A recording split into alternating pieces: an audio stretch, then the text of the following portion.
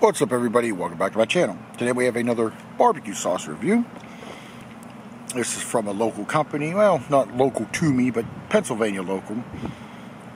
Torchbearer Sauces Company. You can find them at torchbearsauces.com. There's that info right there. And this is Torchbearer Sauces All Natural Mild Honey Barbecue Sauce. Love their artwork on their bottles. Just look at that. Pig. Also gluten free, as it says.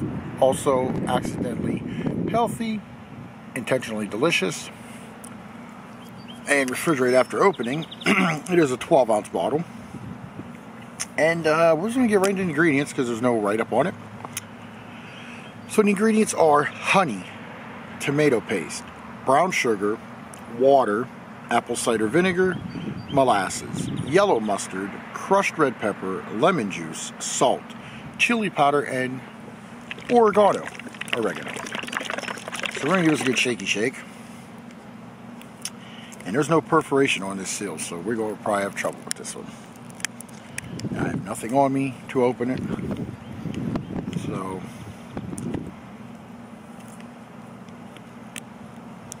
oh well. I use what you we use what you were given. Probably shouldn't use my teeth, but oh well. Okay. It ain't all the way off, but it'll be enough for what we're going to do. kind of, you can see the consistency there. It's a little on the thinner side. Excuse me. See some of that crushed red pepper floating around in there Don't know if you can see it real well where the sun is, but it's in there. nice little pop. Now, there you can see it, what it looks like inside the bottle. And now we're going to give it the smell test. Oh, that smells so good. I actually can smell the oregano. Mmm. Oregano, the tomato paste, apple cider vinegar,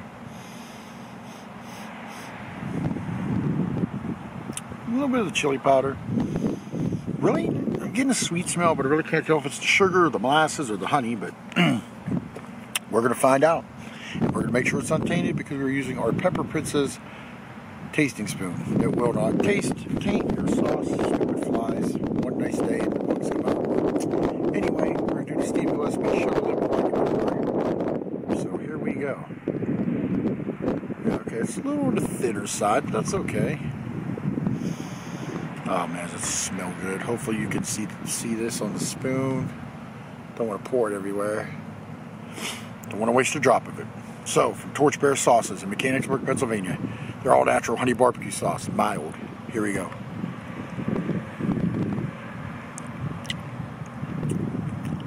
Wow. Definitely get that honey. It is the first ingredient. My bottle.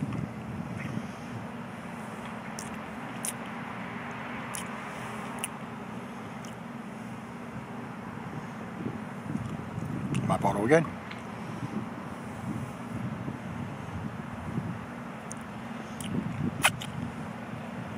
Cheers.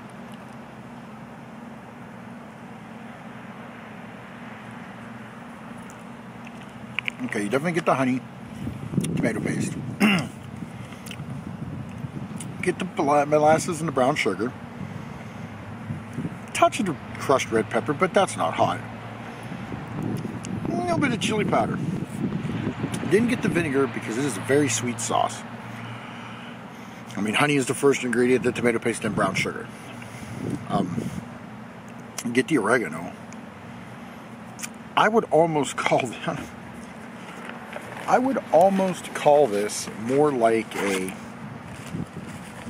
flavored honey than I would call it a barbecue sauce because get the straight honey flavor with some of the seasonings. But I like it a lot. This would be great on ribs, chicken on the grill, a burger.